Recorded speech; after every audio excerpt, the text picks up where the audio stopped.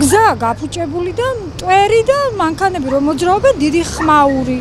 მოქმედებს სახლზე ბზარები გაჩნდა და ეგაა ჩვენი ყველაზე დიდი პრობლემა.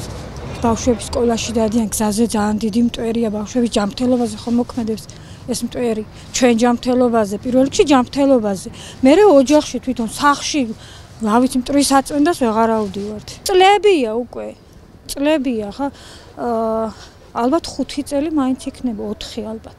მოდიოდნენ ადრე რაღაცას ყრიდენ მაინც ცოტა 1-2 დღე მაინც კმაროდა და ეხლა ისიც აღარ არის და რა ვიცი აბა შარშან კი იყო ეგრეთ წავდნენ ზაფხულში მაგრამ წელს ზაფხულში ისეთი ძალიან დიდი მტვერი იყო არავის აღარ მოურწყია და ახლა რა ვიცი ახლა ინდივიდუალურია ზოგი ნელადადის ზოგი ჩქარადადის რა ვიცი.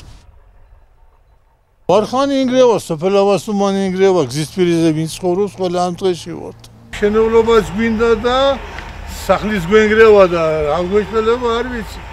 რო შეგიყვანოთ შიგნით თვითონ შიგნით სახში შეხედათ რა ფებუნდება კედელი იქით. მტვერი წერდა ნუ აი ყოველ მესამე დღეს ფანჯრის გარე გაწმენდას ვერ ვდივარ და გარეთ ვერ ჩერდებით რა საფხულში გასაკუთრებით გზას შილო ვერც მოაწესრიგებენ ამ ასტონიანი მანქანა რო დაიარებ ეი მას რა გოუძლებს ჯერ უნდა გააკეთონ მშენებლობა და მე გარემონტებენ გზას ალბათ. ნელაც სიარულით არც მტვერი და ადგება გზაზე და არც სახლებით დეგვენგრევა ჩემი სახლი ინგრევა თუმცა იმასაც ვიტყვი რომ ჩემი სახლი არა მარტო ამის გამო ინგრევა მე ორჯერ დამიტბორა წყალდიდობა.